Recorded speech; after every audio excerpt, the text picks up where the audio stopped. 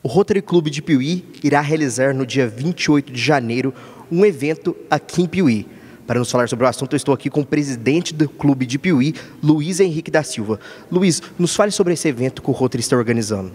Esse evento acontecerá por volta do dia 28 de janeiro, será na, no Panorama Grill, né, do Parque Exposição. Começará por volta das 10 horas, tendo início às 10 e, e com término por volta das 2 da manhã.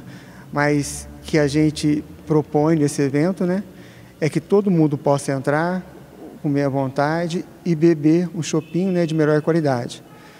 Esse evento também, né, ele será em prol, né, das reformas que estamos fazendo aqui na estrutura da sede do Rotary Clube de Piuí, que já fazem mais ou menos 30 anos que não, não se mexia aqui, né?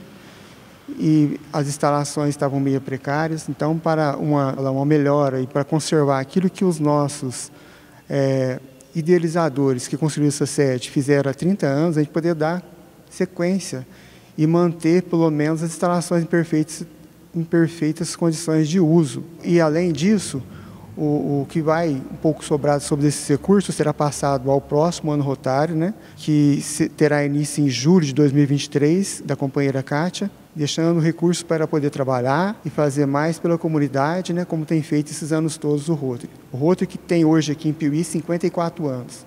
Luiz Henrique, como você falou assim, para ajudar a comunidade, nos fale então sobre o que o Rotary faz, quais são os trabalhos e qual a importância das pessoas estarem adquirindo este ingresso. Gostaria que você também falasse o preço do ingresso para ajudar o Rotary. O Rotary ele vem ajudando a comunidade através de projetos projetos que são apresentados a nós, projetos sustentáveis, né? E com subsídios distritais, a gente vem ajudando há vários anos a, a PAI, com alguns é, materiais, por exemplo, uma cama elástica, que foi algum tempo atrás necessária, a gente doamos para eles através desses recursos distritais.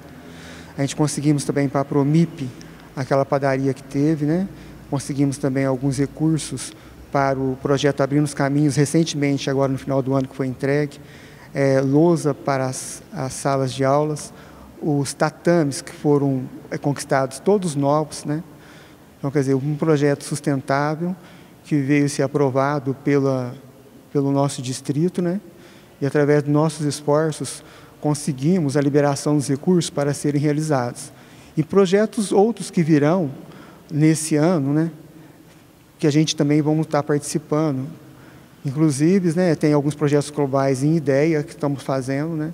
Se tudo der certo, com certeza irá dar certo, né? A gente conseguir um recurso global para poder ajudar a própria Santa Casa com alguma aparelhagem. O ingresso tem um valor de 150 reais. Quando a gente vê assim, pelo parâmetro, a gente acha que é caro, mas não é caro. Se for ver, a pessoa vai entrar e vai comer à vontade comer um, um cardápio vai ser bom. E tomar o chopp, é, a quantidade que der conta de tomar, né? E para quem não bebe, temos refrigerante, temos água, né? Tá certo. E onde que as pessoas podem adquirir esse ingresso?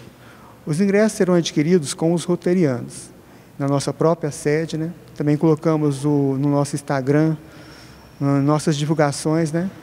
Podem estar nos procurando. Também na, na Pedra Lascada com a companheira Sirley né, e os companheiros que existem em nossa comunidade. Eu, por exemplo, fico lá no supermercado Piuti, agradeço se alguém puder me procurar. Tem também da Madeireira Monte Verde com o Cláudio e outros associados.